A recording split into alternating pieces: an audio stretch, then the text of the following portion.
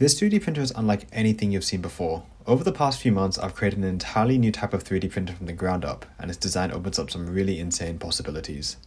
The most striking feature of this printer is its unique kinematic system. It features a polar print bed paired with the cantilevered x-axis that includes an additional rotation axis on its end.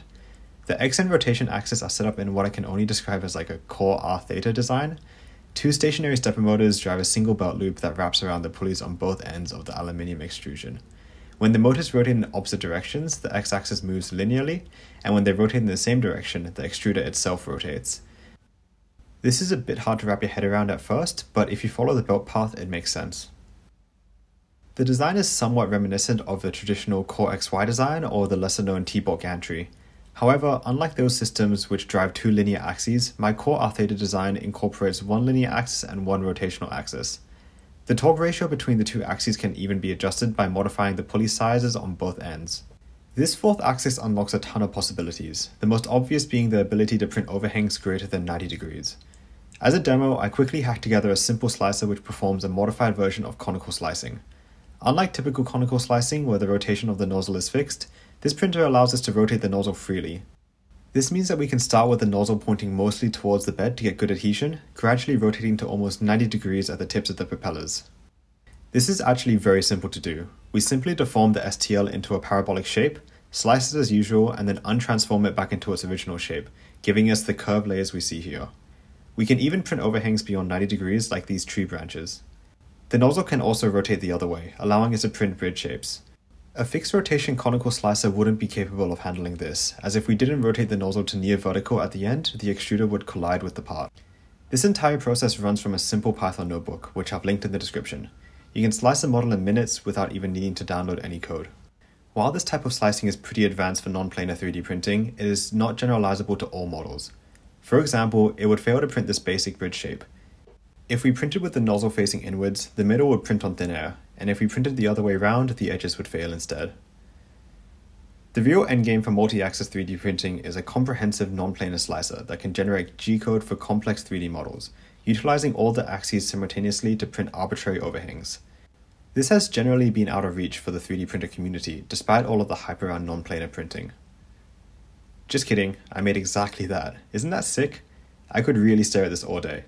Along with building the printer, I decided to tackle this very daunting problem, I'm a computer scientist, not a mechanical engineer after all. The slicer is optimization based and generates layers to prevent printing supports. I really think this is the future of 3D printing, and it would even work on a normal 3 axis printer if you stick one of those long nozzles on it. It still definitely needs some work, but I couldn't wait to share it with you guys. I'll make a full video about it in a week or two and also release the code so anyone can use it. So make sure to subscribe, otherwise, you'll be at the whims of the YouTube algorithm to bring you back to this channel. I'm also planning on turning my printer into a ceramic printer that can print and mill double walled ceramics. So if you're part of the very small subset of people who find that more interesting than a true non-planar slicer, make sure to subscribe for that too. Anyway, back to the printer. The build plate can be made out of almost anything. I originally just used a piece of wood, however, since JLC PCB is this video sponsor, I realized I could use their aluminium PCB capabilities as like a pseudo CNC service to get this build plate made. On that note, I would like to thank JLC PCB for sponsoring this video. I'm not a big fan of taking on video sponsors since this is all really just my hobby, but I've been using them for literal years and have never had a bad experience with them. My LED cube project from three years ago was made using JLC PCB.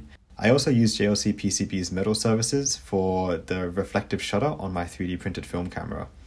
It only cost $8 and arrived at my doorstep in five business days. I mean, it did help that I only lived 15 kilometers away from their factory at the time, but still, that's really impressive. Anyway, go take a look at JLC PCB. They have PCB, 3D printing, and CNC services at very affordable prices and fast turnaround times. Okay, back to the printer, for real this time. To avoid collisions, a 270 degree exclusion zone ensures that the tool head doesn't hit the bed while rotating. This complicates part cooling. A traditional shroud simply wouldn't fit. Instead, I use an aquarium fish pump to send compressed air to the tool head where it's shot out of two jets. This is all printed out of PLA and sits right next to the hot end, so I can get a bit melty at higher temps, but PLA is all I can print with on this cheap ass printer from Amazon, so just gonna have to make do. The aquarium pump is also kinda loud, so I used a rubber band sling to isolate its vibrations from the table. The rotational axis deploys a bed probe by rotating the nozzle 90 degrees, which I think is a pretty neat use of the rotational axis. All the other axes use sensorless homing. Basically, you slam the axis into its limit and then detect when it stores. This was surprisingly accurate and saves me from adding a bunch of end stops, keeping the wiring to a minimum. Here's a clip of the full homing operation.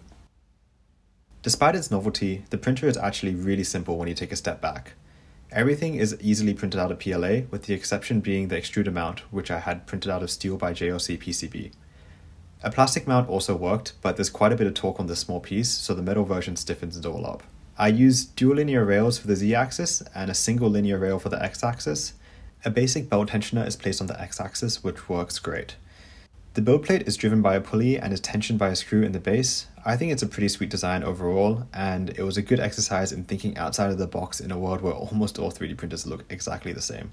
And compared to other 4 or 5 axis printers, it's far less mechanically complex, easier to align, and more stiff. Instead of retrofitting two axes onto a traditional Cartesian printer or using an industrial robot arm, it completely rethinks what a 4 axis printer looks like.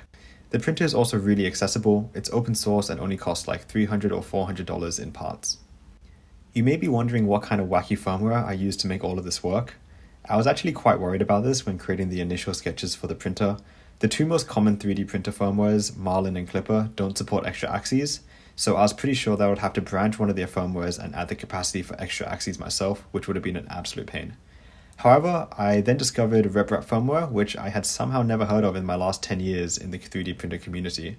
It's used by the Duet 3D brand of boards, but some generic boards also support it. It's an absolutely wonderful piece of firmware and allows you to configure some really insane kinematics, such as my Core R Theta Polar 3D printer. The printer also works really well as just a normal polar printer. There's a reason why you don't really see polar printers anymore though. The center of the print bed is a singularity, meaning that it has to whip around when the toolhead passes through the origin. When printing near the origin, the print speed is therefore limited by the bed's rotation speed and acceleration, which is why I've gone with such a thin, light aluminium bed. For everyone who stuck around until the end, I apologize for taking so long between videos. I've actually had a pretty busy year, graduating from uni and starting my full time job, etc. I uh, actually finished this project during the few months I was back in Hong Kong this summer and had to wrap it up and bring it with me to the UK. I really hate putting together videos, which is why this has taken so long to create. Actually, the only reason I'm finishing it now is because my Final Cut Pro free trial ends today. So I hope you liked the video, and like I said before, this printer is literally just the tip of the iceberg. I've mainly been using it as a testbed for my non-planar slicer that will give simultaneous 4-axis printing. I'm super excited to share that project, so make sure to follow along for that.